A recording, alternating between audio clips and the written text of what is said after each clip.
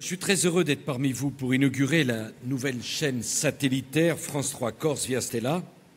Et je remercie Patrick de Carolis pour son accueil et surtout pour son engagement dans ce projet. Octobre 2007, Nicolas Sarkozy lance officiellement France 3 Corse via Stella, une exception dans le paysage audiovisuel français qui aurait pu ne jamais voir le jour. En 2000, France Télévisions doit développer de nouvelles chaînes numériques pour accompagner la TNT. Huit sont concernées, dont France 3 Corse.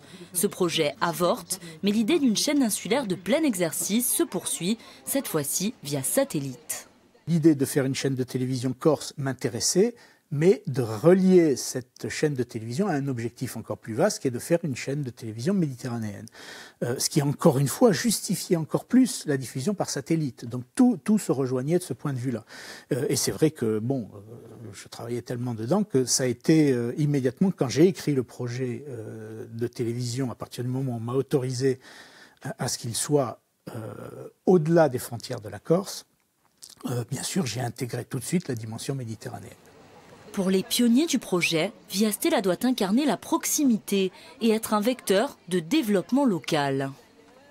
Il fallait donner euh, la parole aux Corses sur la longueur, leur donner le temps de s'exprimer, leur donner le temps d'exprimer une culture, leur donner le temps de parler de leur actualité, de leur histoire, euh, le temps de ne pas caricaturer. Je pense que c'était ça euh, les raisons qui ont fait que au moment où beaucoup de chaînes se créaient, il ne fallait pas que la Corse soit, soit absente de ce paysage et le service public ne le soit pas.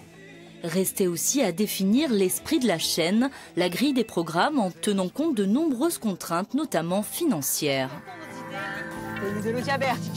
C'était des émissions créées à partir du, peu de choses qu'on avait. C'est-à-dire que les décors, par exemple, on avait commandé des décors euh, euh, qui étaient complètement euh, transformables pour que entre midi et le soir, on puisse tout, simplement tourner des feuilles de décor pour que pour qu'on n'ait pas à créer un décor spécifique. Il a fallu en fait rivaliser d'imagination pour pour réexposer des programmes, pour aussi faire appel à des à des producteurs producteurs extérieurs et puis faire appel aussi aux, financeurs que sont le, le, le CNC, la collectivité territoriale de Corse.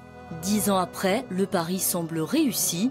Via Stella, c'est aujourd'hui plus de 8000 heures de diffusion annuelle pour des audiences toujours plus performantes.